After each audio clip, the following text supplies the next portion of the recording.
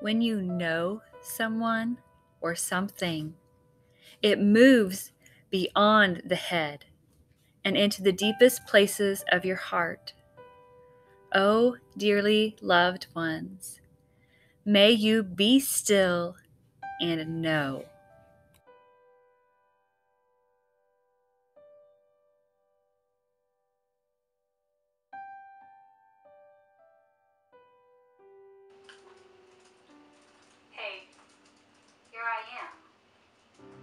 I would like to say it's exactly where I want to be, but I can't lie to you. I mean, who would even try?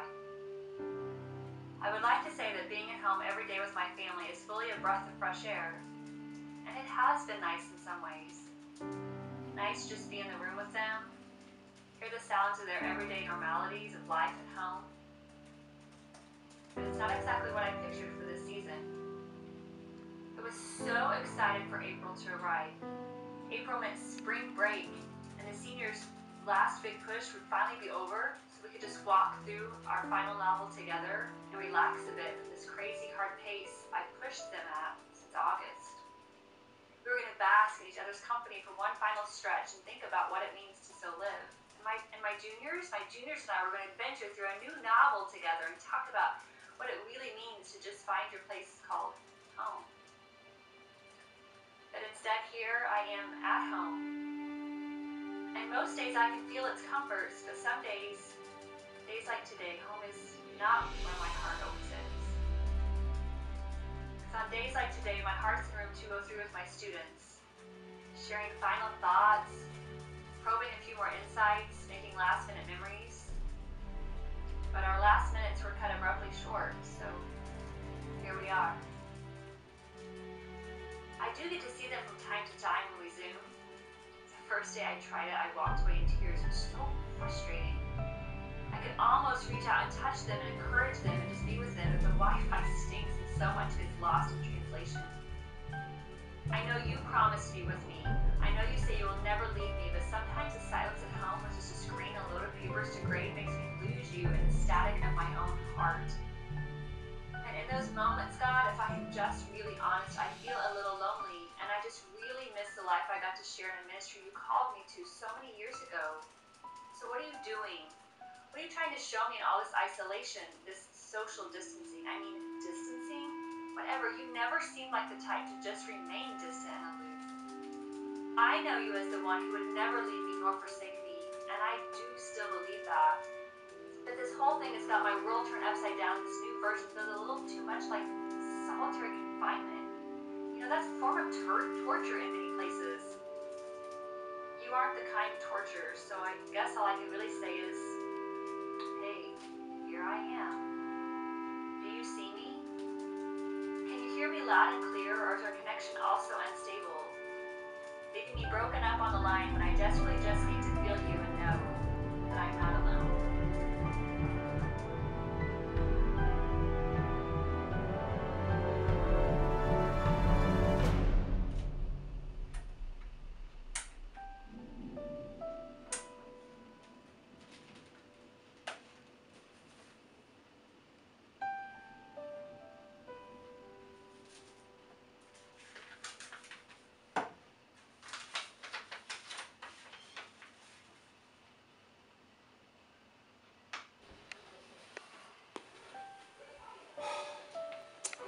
I hate looking at this computer screen.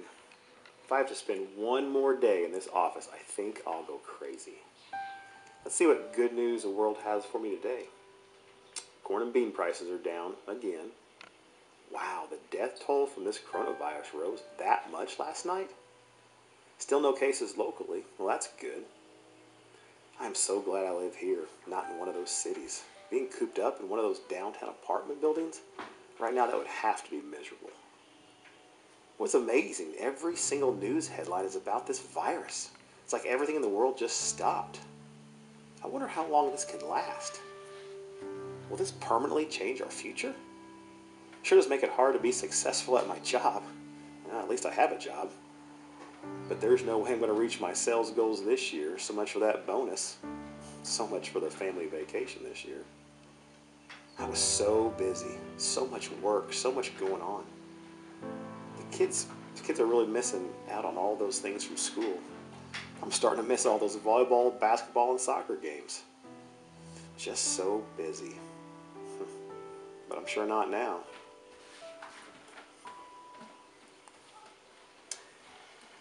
God, I know that you're in control of all things. But things sure are hard right now. It seems like all the news I see is always bad. But I pray you'd help us not to live in fear. Help me to remember what you've promised, to never leave or forsake us. And may that bring peace as we work our way through these challenging days.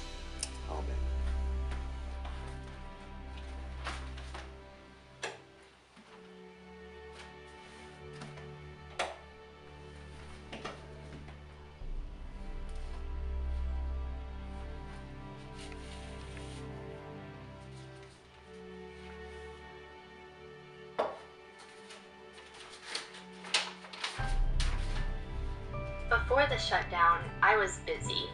Like, really busy. I was constantly surrounded by people. I spent almost every second of my day in school or at practices. People were my mission. Every day I walked into that school ready to shine a light into the darkness.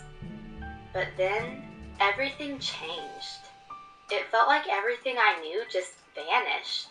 Everything just fell apart like that. And the light I had so consistently shown at school and at practice, it started to flicker. Loneliness is a strange feeling. It feels cold, like I'm stranded in a vast field of ice and darkness. Loneliness makes you question. When something like this happens, it really makes you wonder who am I? Like, beyond all of the extracurriculars I take part in or all the classes I take at school, beyond everything that this world defines me by, who is the real Catherine? After everything is stripped away and I am left here alone in this room, who am I? My mind is like a battlefield. Satan whispers lies in the silence. I try to ignore them, but they're just so distracting. You have no purpose, he lies. You have no mission. You will always be like this.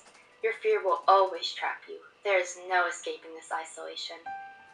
Day and night, he whispers those lies. But sometimes when I stop, I hear another voice, a still, small voice. It tells me I do have a purpose. I am not isolated. God is always with me. He will never forsake me. He will never walk off and leave me. But the war in my mind rages on and on. I feel like I am losing. I am trying so hard, but it never seems to work. I don't know how much I can bear. I need a savior. I need a light in this darkness to guide me. I am lost. Dear God, please give me a light. Please be my light.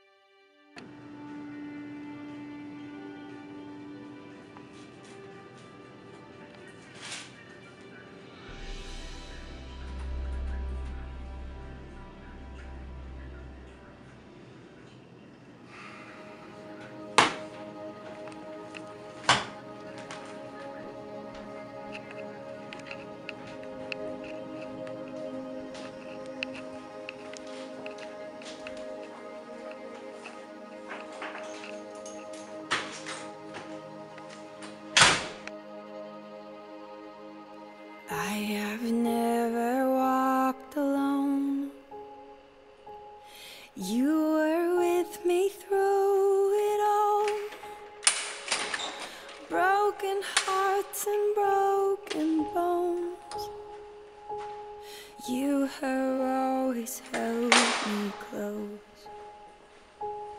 There's no place that I could go.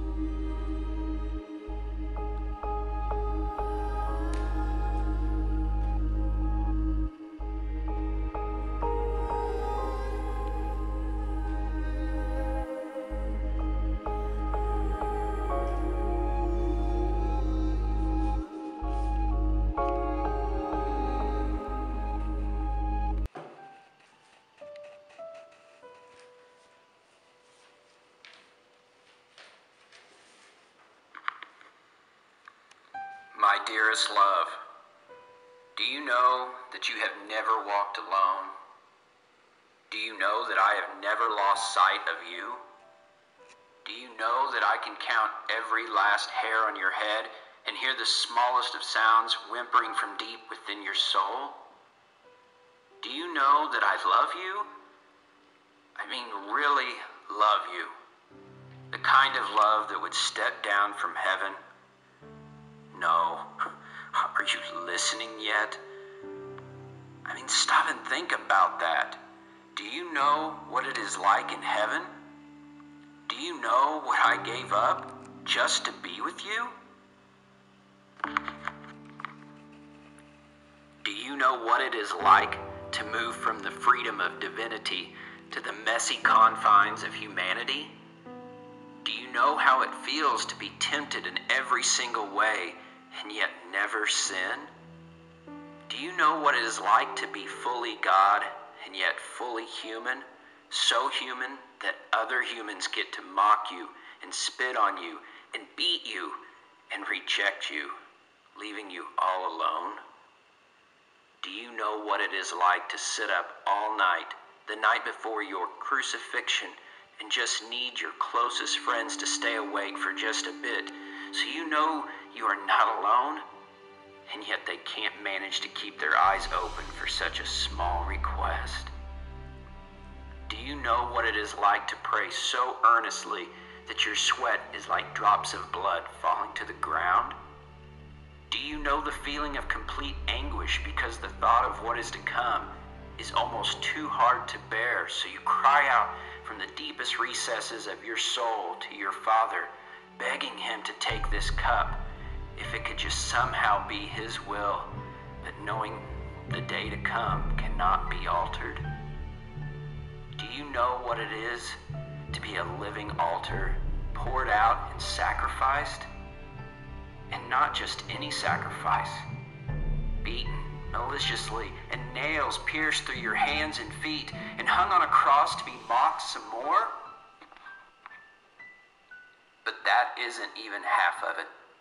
Do you know what it is like to do all of that? Every last ounce of struggle and temptation and anguish, only to watch God turn away because in that moment, when sin envelops the sinless, he must forsake his only begotten Son? Do you have any idea what that moment feels like? Crying out, My God, my God, why have you forsaken me? Knowing that your next cry means surrendering your spirit as you surrender to God's will, complete isolation, alone. You think you are alone, but you are not. Do you not remember? Do you not remember that I did all of that, every last bit of it, just so you would never have to experience complete isolation? Do you know I would gladly do it all again? I would do it all again because I love you. Do you really know the depths of my love? Do you know how much this cross means? Do you not realize that this cross is the greatest event known to mankind, bridging the biggest chasm you could ever face, just so you could cross over and never be alone? Oh, dearest love, you are not alone. Do you really know it? My word says, Be still and know. Know that I am God. I will be exalted among the nations. I will be exalted in the earth. The Lord Almighty is with us. So maybe this mandatory pause is allowing some stillness in your life that you need because in that stillness, you get to know. Know beyond a shadow of a doubt that I get it. I get you. I know far better than you because of what I did on that cross. And because of that cross, you never have to feel alone.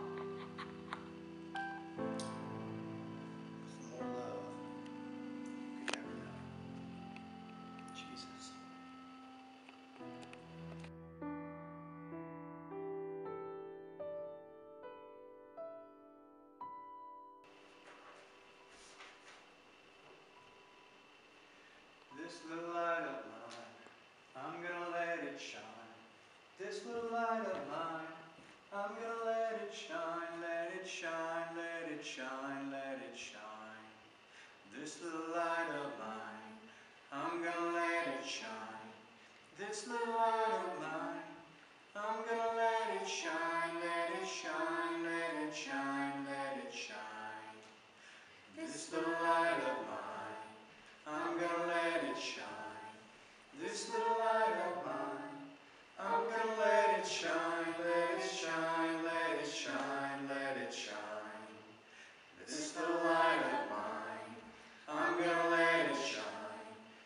Light of mine, I'm gonna let it shine, let it shine, let it shine, let it shine.